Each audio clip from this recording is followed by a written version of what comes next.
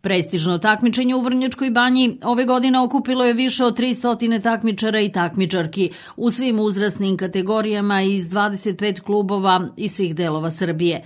Organizator takmičenja bio je Srpski sportski savez za obaranje ruku u saradnji sa opštinom Vrnjačka banja i hotelom Fontana. Srpski sportski savez za obaranje ruke u saradnji sa opštinom Vrnjačka banja i hotelom organizuje 14. državno prvenstvo Srbije u sportskom obaranju ruke ovde u, u prelepu sali hotela Fontane i a, ovo su do sada najbroj, državno prvenstvo, učeste 25 klubova iz cijele Srbije i preko 300 takmičara u svim kategorijama.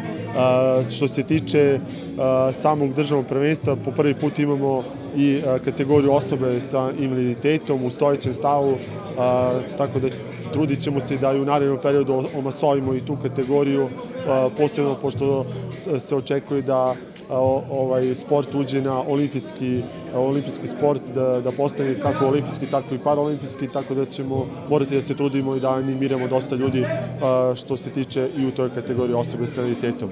Ono što što me raduje kao predsednika saveza to je da veliki broj mladih ljudi iz svih gradova Srbije počinje da trenira ovaj sport i ono što, što kao savez primećujemo to je da imamo budućnost u, u ovom sportu i ovo su ujedno i kvalifikacije za ulazak u reprezentaciju Srbije.